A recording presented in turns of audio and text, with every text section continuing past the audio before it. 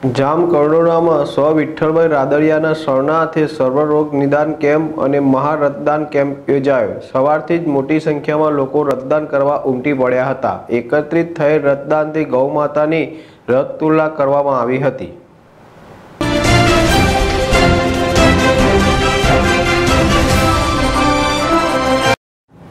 જામકંડોરણામાં શ્રી લેવવા પટેલ કન્યા છાત્રાલય અને જામકંડોરણા તાલુકા ખોડલધામ સમિતિ દ્વારા સૌરાષ્ટ્રના ખેડૂત નેતા સ્વર્ગીય વિઠ્ઠલભાઈ રાદડિયાના સ્મરણાર્થે કન્યા છાત્રાલય સંકુલ ખાતે મહારક્તદાન કેમ્પ અને સર્વરોગ નિદાન કેમ્પ યોજાયો હતો.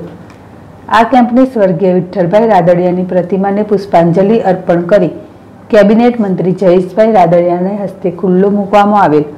આ તકે કેબિનેટ મંત્રી જયેશભાઈ રાદડિયાએ જણાવેલ કે સ્વર્ગીય વિઠ્ઠલભાઈ રાદડિયાને સ્મરણાથી જામકંડોરના તાલુકા ખોડલધામ સમિતિના સહયોગથી આ મહારક્તદાન કેમ્પ અને સર્વ રોગ નિદાન કેમ્પ યોજાયો છે અને આ રક્તથી અનેક ગરીબ પરિવારોના લોકોનું નવું જીવન મળશે.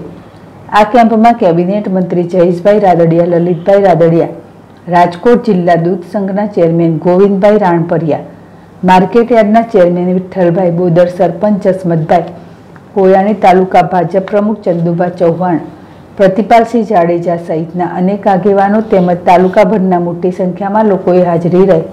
રક્તદાન કરવી સ્વર્ગીય વિઠ્ઠલભાઈ રાદડિયાને શ્રદ્ધાંજલિ અર્પી હતી. આ મહારક્તદાન કેમ્પમાં બારસો બોટલ રક્ત એકત્ર થયું હતું. આ એકત્ર થયેલ રક્ત ગૌમાતાની રક્ત તુલા કરવામાં આવી હતી.